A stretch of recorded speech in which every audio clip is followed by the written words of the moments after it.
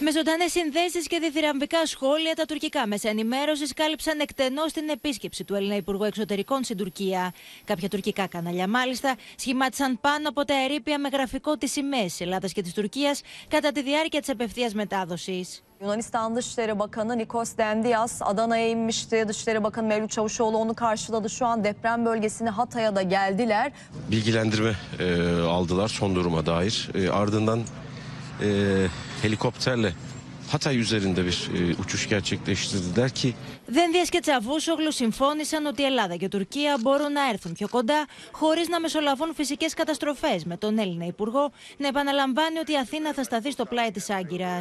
Deprem meydana geldikten hemen sonra e, Türkiye'yi ilk arayan ve yardım teklifinde bulunan ülkelerden bir tanesi de Yunanistan'dı.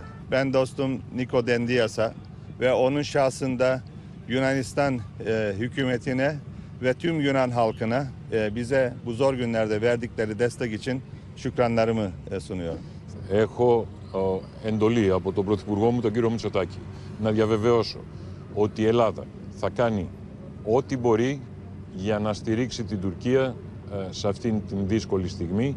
Θα ήθελα να προσυπογράψω απολύτως αυτό το οποίο ο Μευλούτη είπε προηγουμένως, ότι δεν χρειάζεται να περιμένουμε φυσικές καταστροφές για να βελτιώσουμε τις σχέσεις μας. Ακόμα και οι πιο σκληροί επικριτέ του Νίκου Δένδια στην Τουρκία αναγνώρισαν τη στήριξη τη Ελλάδα σε αυτή τη δύσκολη για τον τουρκικό λαό συγκυρία. Türkiye'de Nikos Dendias'ı en çok eleştiren adam Şeyde benim. Mitsotakis yani iki Aynen tane Kyriakos Mitsotakis başbakan da öyle ama helal olsun.